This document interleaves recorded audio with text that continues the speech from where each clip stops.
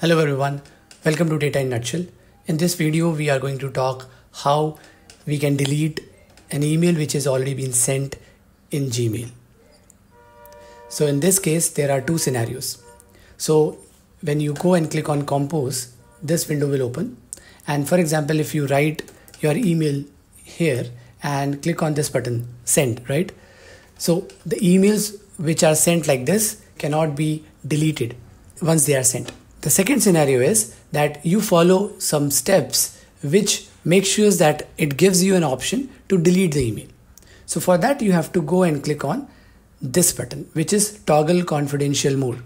So when I go and click on this button a pop-up will appear.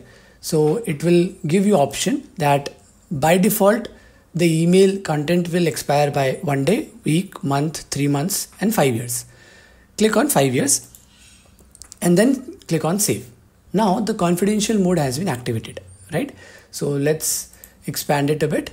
This is the body and it is a trial email and I'm sending this email to my own account, which is an, another account, information.datainutshell at gmail.com.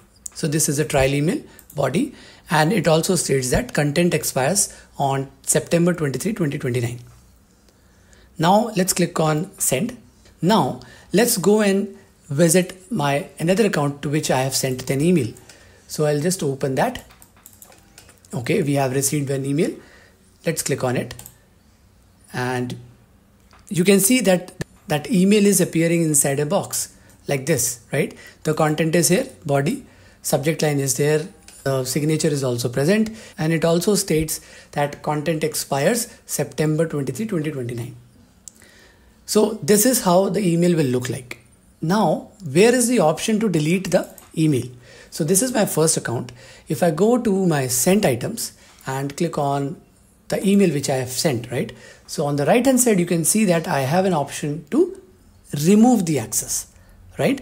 So although the content expires in 2029, but you can remove it anytime you want, whether it is one hour, two hours or one day, it totally depends on you. It could be 15 minutes, 10 minutes. But you have an option to remove the access. Let's go and click on this and see how the email looks like. We have clicked on it. Let's move to the second account. This is the account. This is the email. Let's wait for some time and let's see how it looks. See, email has expired. That means the content you have sent now it is not viewable to the receiver.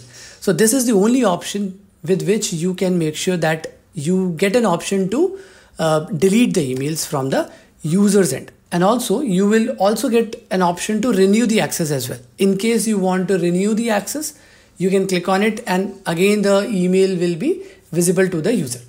And if you want you can remove it. So this is the only option present in gmail as of now which helps you to delete the content which is already been sent to the recipients.